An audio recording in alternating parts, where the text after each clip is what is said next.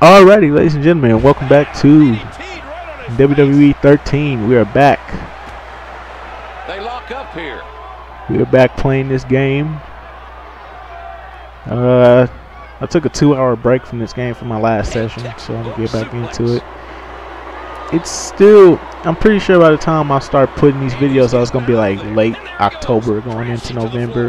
But we're in the middle of October right now. Today is like the 15th of October, so yeah. I've been playing this game for about a month now. I beat the Attitude Era mode already, so I don't, I don't even think I have to even like.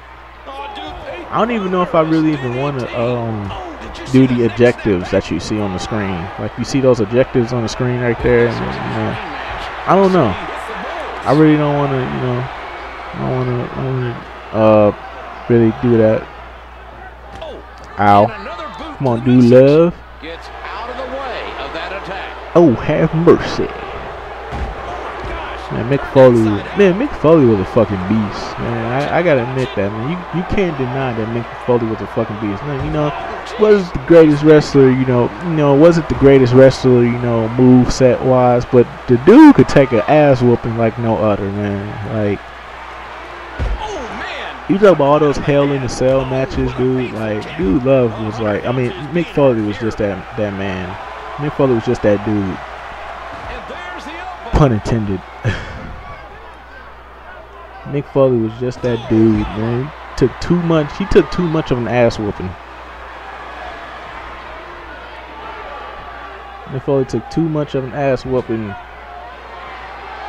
That that man, they should, they, the WWE should be paying that man for life. He shouldn't even be making special appearances and you know doing other stuff for money. The WWE should set him for life. He he put his body on the line.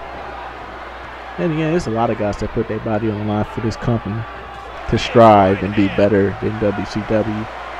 To be honest with you, I never even knew WWE. I never even knew WCW existed. To be honest with you, You hear how his leg I never knew it existed until about 2000, Hell's late man. 2006. Yeah, 2006 is when I knew that that uh that a WCW was even a thing. Cause I I don't even I didn't even know about ECW until 2005. So shit, that says a lot about my wrestling history. But then again, you gotta understand I'm a '90s kid. You know, I grew up in the early mid '90s, early mid '90s. You know,